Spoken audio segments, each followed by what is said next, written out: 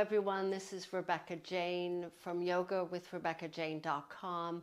Welcome to this 30 minute practice. So, as we continue with our Winter Wonderland series, today we're going to be um, focusing on arms and it's called Angel Arms. So, we're in this kind of angel training program. we're going to practice on a physical level, and hopefully, with the physical, we start to feel more like an angel, if that's possible.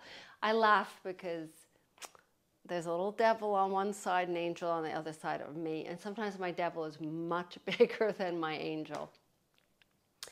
So it's not an easy thing to, to, to, to accomplish, to achieve.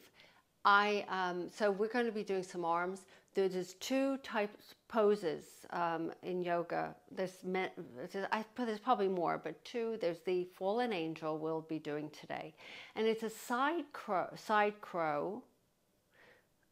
But when you lean forward and your head touches the ground, we're going to do it on blocks. It's it to make it very much more gentle than an actual side crow.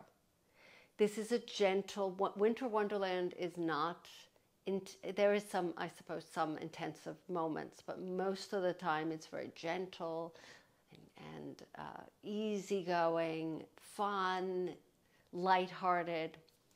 And then uh, we're doing a uh, angel, um, snow angel, where we are actually doing the snow angel in our stomachs. And the key to all these, much of what we're doing today, is that there's the, the idea of your navel being pulled in towards your spine. I'll say that a lot. So you're in that kind of little cat shape the, uh, for, I mean, not the whole class, but during some of these, these uh, kind of stretches and strengtheners, that you're pulling that navel up as if there's a string attached to the navel and there's somebody's pulling the string from behind you. Okay, that's how. That's the only way I can really explain it. Two blocks if you don't have two blocks, one is okay, but try uh, two blocks are really ideal for this practice. Okay, so we're going to start with sitting for just the first, not for long. We're going to sit, take a moment, hands on thighs. We're going to enter into the world of winter wonderland. Here we are back in the. You can pick where you are because today we're angels. So, where does your angel live? Where does it reside? I'm still in the forest. I'm st- because I, when I think of winter and um, and Christmas and the holiday season, I think of snow. Not everybody lives in uh, in uh, um, in areas where there's snow during winter. I mean, during the uh, this time of the year. That's what I mean. So th- let's begin to breathe in and out, just gently watching the breath, warming up those lungs. We're going to do a breath retention, two sets. And I will go through it again, how to do it. I'm going to take you through it. If you can't breathe in for that long, then you just cut it down. So we're going to take one breath in, and then we're going to exhale through the mouth, empty the lungs completely. Once you've emptied the lungs, pause at the bottom, then you're going to take an inhale through the nose maybe five counts, maybe six, maybe seven.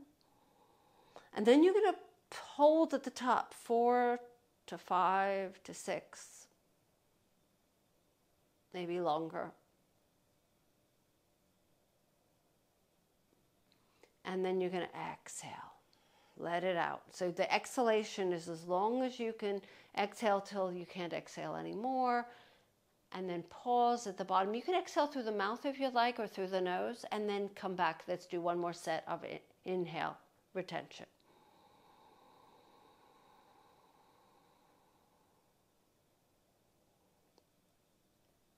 And once you do hold the breath, soften into it. So you don't hold it with uh, intensity or with strain. And then exhale. Let's, let's return to our even breath. Fourth. Three to four inhale counts to exhale counts. Inhaling and exhaling. And one more time, let's gently, let's transition onto our hands and knees. Let's slide your feet forward. I mean, excuse me, backwards. And stretch through the arms.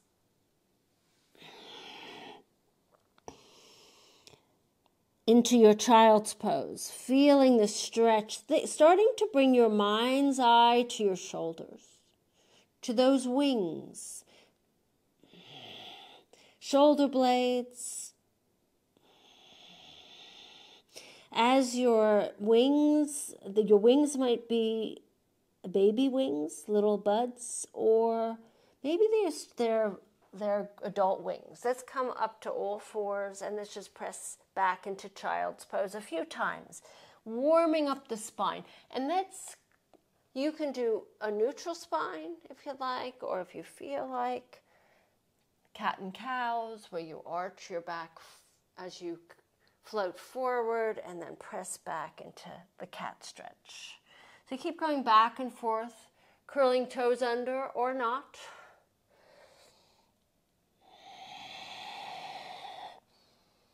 So the wings are growing from your shoulder blades.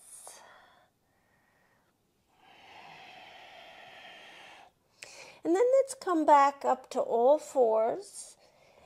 And then let's flatten out those feet. Wrists are under shoulders. You're going to slide your right leg back and then lift your right leg up. Now, from here, I want you to take your tailbone, tuck it under, draw the tummy muscles in and up. Exhale, knee to nose. We're doing some glute work here. Inhale, reach that right leg back, still tuck the tailbone. Exhale, knee to nose. It's a very subtle movement. It's almost imperceptible, even for you. Knee to nose. And this time, I want you to reach that right leg back now let your tailbone tilt upwards and bend your right leg as if you're going to kick your right heel into your bottom cheek. Bring your right knee in towards your left leg and arch your back, stretching out that belly, and then bring your right knee back. And then press back into child's pose and then come back up onto all fours. Let's do a few more sets just to loosen up those muscles. Angel apprentice. Let's come back to all fours. Inhale. Too much, come onto forearms if it's too, too if your wrists are beginning to hurt. Left leg reaches back. Make sure wrists are under shoulders. And then tuck your tailbone under. So pull the tummy muscles in and up. Exhale, knee to nose. Keep your gaze backwards. Keep the rounding of the back. Knee, knee to nose as you exhale. Inhale, reach back. Exhale, knee to nose. This time, reach back. Bend your left leg, lift your heart forward, look forward, squeeze, bring your left knee in towards the center, so towards your right leg, and then kick the heel into your bottom. And then lower your left knee down.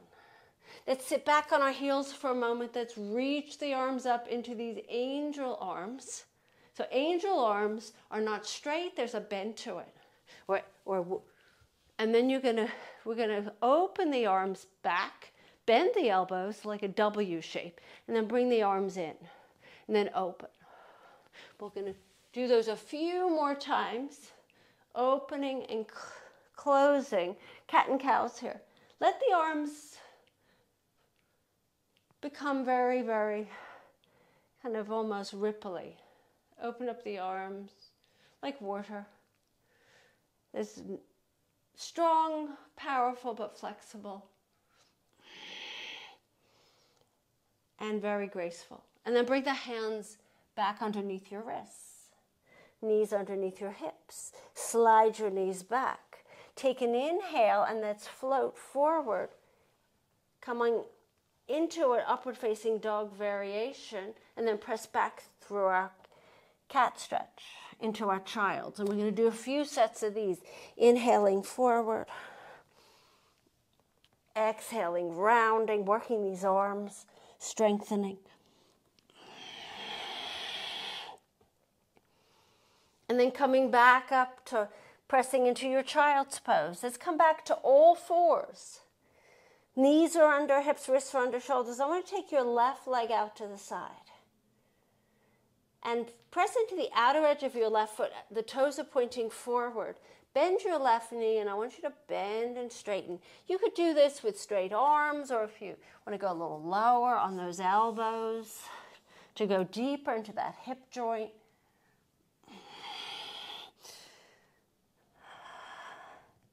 So, angels are graceful, but they're strong at the same time. Yin and yang, feminine and masculine. Let's walk our hands back up. Keep your left leg straight. This now take your right arm out to the side. So it's gonna it's gonna be a palms down, and then left leg lifts. So you're going alternate leg, alternate arm. This is a preparation for our draw the tummy muscles in and then lower that right hand down, left knee down for the fallen angel. Exhale, press up, downward facing dog. Get a nice stretch here. And then inhale, lower the knees to the ground. Let's do the other side. Right leg out to the side, straight leg first. To begin, toes pointing forward, outer edge of that right foot on the ground, and then start to bend and straighten you. So you're going to these side lunges. Maybe the forearms on the ground. You can even use blocks. Blocks are to bring the ground closer to you. It's great for to enhance flexibility if you cannot, especially touch the ground. And then come back up nice, come back onto your hands, straight arms. Straighten your right leg, left arm reaches out to the side, palms down. And then lift that right leg off the ground. Pausing. Now remember, draw tummy muscles in and up so that your glute muscles are doing the work, not your tummy. And then left hand down, right knee down. Take an inhale and exhale, press up, downward facing dog. Walk your hands a little further forward. Let's take a few little bends and straightening. Take a little walk through those legs, loosening up those hips. And then walk your hands to your feet. You're at the back of those mats. Bring your hands behind your calves or ankles, or maybe place your hands on your heels on your hands, cup those heels. That's really dependent on your flexibility. And let yours pull your forehead toward your shins. Back tender people, knees are always bent. Breathing in and breathing out. Those that don't have back tender backs can straighten them.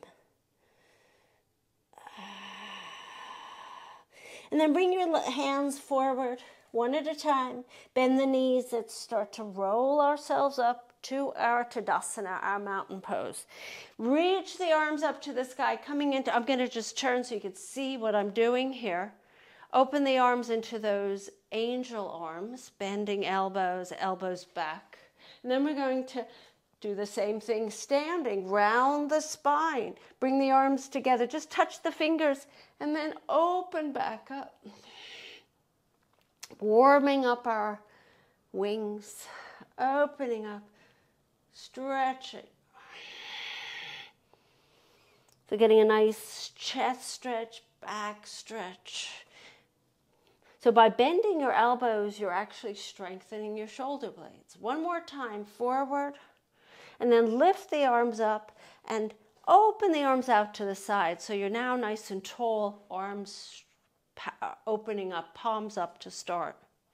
Now just flip your right palm down, leave, leave your left palm up.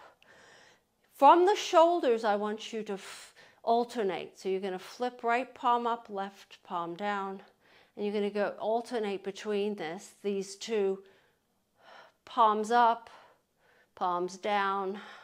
You're going, by doing this, you're going to notice that your upper, your torso will sway from side to side. There'll be a little twist here.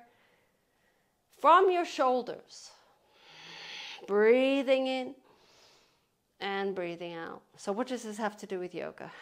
Yoga's a, this is, has to do a lot with yoga because we're strengthening arms. Release the arms down. Let's do a few little rolling of the shoulders. Feel free to add the feet to this, rolling up to, onto your toes, rolling the shoulders back, shoulders up, and roll back down, rolling onto your toes. One more time. Inhale, lift the shoulders up and roll them back down. I'm back at the back of my mat. Sweep the arms up, fold forward, forward fold. Walk your hands forward back into downward facing dog. And now we're going to go and do the next thing. Come into plank. Pause in plank, wrists are under shoulders. And then you're going to lift your right leg out to the side just a little bit and left hand out to the side, just like we did on our hands and knees. If this is not working for you, then come onto your hands and knees, do the same thing again. Breathing deeply, and then lower that left hand down, lower that right foot down, downward facing dog. And then inhale back into plank. So as I said, yeah, this is a, not an, uh, you know, it's a gentle but strong class as well. So now we're going to lift our left leg up and to the side a little bit. And then right arm reaches out to the side, breathing in balance. Hard work. Lower the hands down. Lower the knees down. Come all the way down onto your belly. Make a little pillow with your arms. Place your right cheek on the pillow. Let the legs widen. Little sways from side to side. How does that feel? Yeah? And then bring your, just place your left cheek on the pillow. Keep the ujjayi breath moving. We're not resting. We're not there yet. And then from here, let's, let's come into our um, snow angel. Open the legs wide, arms wide. So you might have to find space to be able to, if you don't have a big room. Or, and what we're going to do here, forehead's on the ground. Now remember that strings attached to that navel and the navel is being drawn up through the back and that's where it stays. Take an inhale and then exhale, arms lift, legs lift. And then lower down, exhale. Inhale, lift arms and lift legs. If that's too much for both, then just do the arms. Keep the legs on the ground. Inhale, lift both. Exhale, lower down. Draw tummy muscles in and up. Lift up this works our glute muscles, our lower back. One more time. Inhale, lift and hold. Now draw tummy muscles in and up, even though you could barely feeling it working. And then lower back down. Hands underneath your shoulders. Slide your legs together, lifting up, pressing up, downward facing dog. Ah, taking an inhale and then exhaling. Let it go. Let's take a nice little saunter to the front of the mat. That's is where your blocks are at the front, at the highest point. Hands on the tops of those blocks. If you don't have blocks, you can place your hands on your shins. Let's lift up halfway. Let's exhale, forward fold. So when you forward bend, you look back, you take your tailbone, tuck it under, Inhale, lifting up, still tucking up halfway. Then exhale, let's release the hands from the blocks. Let's slowly ease ourselves up, lifting up, lifting those gorgeous arms up to the sky. Hands to heart. So, what we're going to do here, we're going to come into a, a chair and take your hands on the blocks. So we're going to do the same thing we did on hands and knees.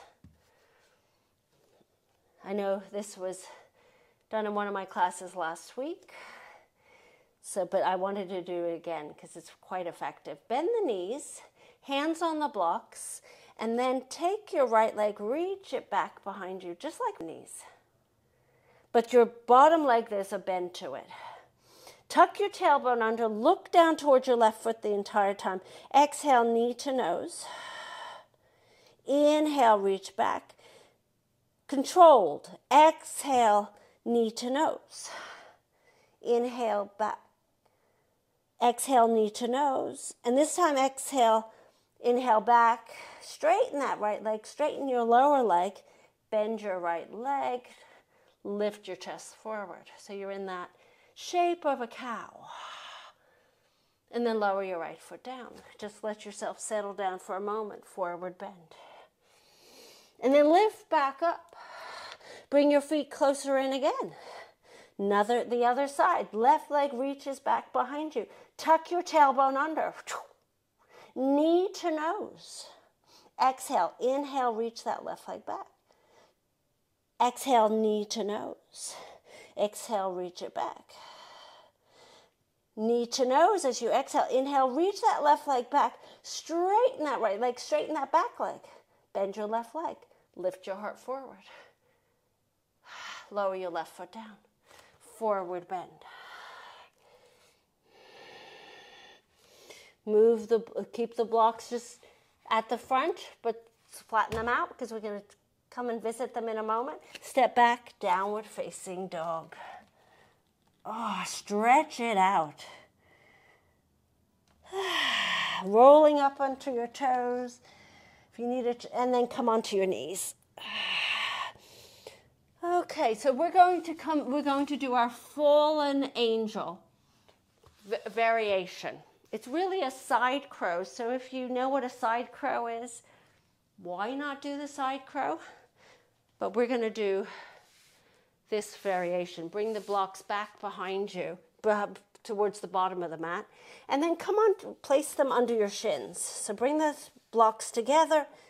They're under your shins. Just sit for a moment. You can curl the toes under. If you like a little bit of a stretch in your feet. And then come on to all fours. Elbows are bent. So you're uh, just you're bending those elbows, you're squeezing the elbows in towards each other. So you might have to bring those hands a little further forward. And then from here you're going to take your left leg back and it's it's a side crow, so you're going to your right elbow will bend a little bit more than the left elbow and it hovers. And then you can open your left leg and then bring your head towards the ground. If you can touch the ground, that's great. So this is a fallen angel. A variation of it. This is a nice way of building the strength and then lift back up. Place that left shin on the block. Just sit up tall for a moment you can feel actually your heart rate, even though it's not as difficult as um, a, you know without the blocks. Come on back up to all fours. Bend the elbows so they're both even for the moment. Extend your right leg back. Remember, tuck your tailbone under. The same type of uh, um, you know, abdominal, the, the tucking of the tailbone we've been doing the whole time. Open that right leg out. And then left elbow lowers down a little bit more, but it's hovering. It's not laying on the ground, it's hovering. And then you take your head to this towards your left hand, tuck your tailbone.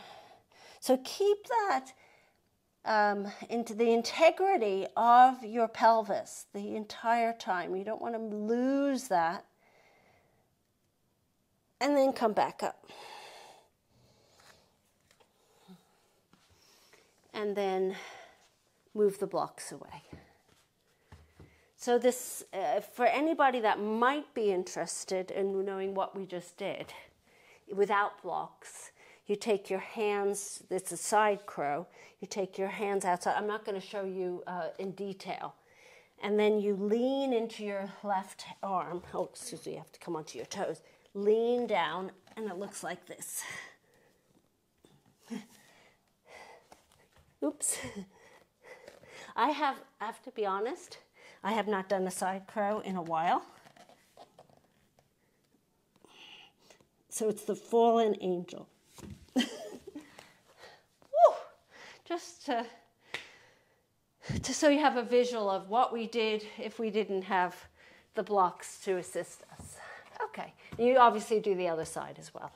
I think that will be my practice today, is to practice those side crows. Let's swing our legs forward towards the front of the mat. Let's ease ourselves down onto our backs. Let ourselves rest. Our angel, we've worked hard as angel apprentices, haven't we? Let's come into happy baby. Take the hands inside the feet or outside the feet, elbows outside your shoulders, and let's just get a few little rocks in if you'd like, just to get into loosen up those hips.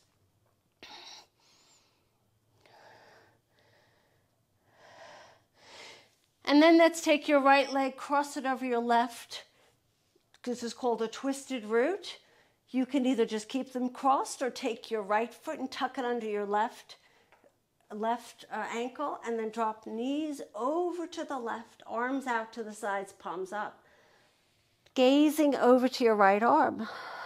If that doesn't work for you, take the untwist those legs. Just keep the just stack the legs on top of each other.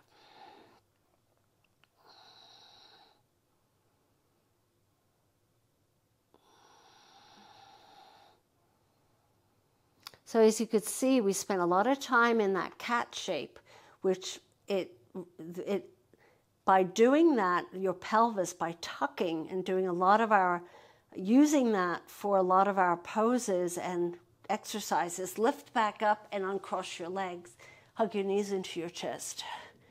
It then and then cross twist your left leg over, maybe tuck that left foot and then drop your knees to the right, open the arms out to the sides, palms up, turn and gaze to the left. So what it does is it it, it forces your glutes to have to do, it fires up your glute muscles. If you're arching your back or it's even neutral, you use less of your glutes. And those are those bottom muscles, massive, the largest muscles in your body. So that's the purpose, you know, why I'm asking you to continuously kind of reconnect with that little that shape. Lift your legs back up. Let's uncross your legs. Let's hug your knees into your chest.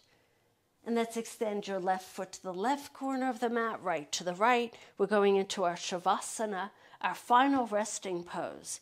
Just do a little wiggle. Your shoulder blades, your wings, or sliding down your back, and then you're going to let the whole entire body melt. Chin is slightly tucked. You want it slightly, you want a little double chin. Let yourself just melt into the mat, bone by bone, skin by skin, muscle by muscle. Hmm.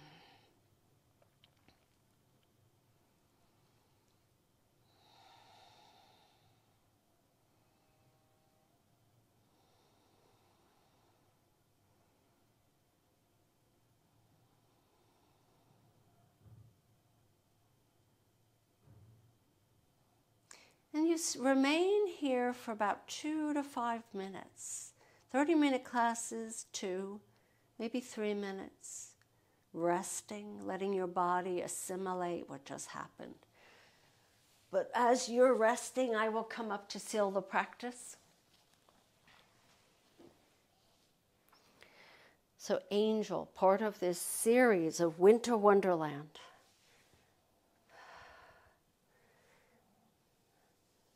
So, working the arms, the backs, the shoulders, trying something new.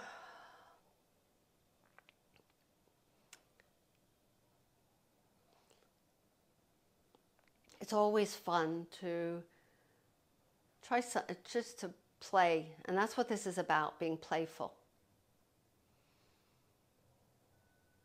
Not putting yourself in any kind of danger or anything, but playing in these different these poses that are not are, are relatively safe. And as I bring my hands in front of my heart to seal this practice, I hope you enjoyed it. This is Rebecca Jane from yoga with yogawithrebeccajane.com. Namaste.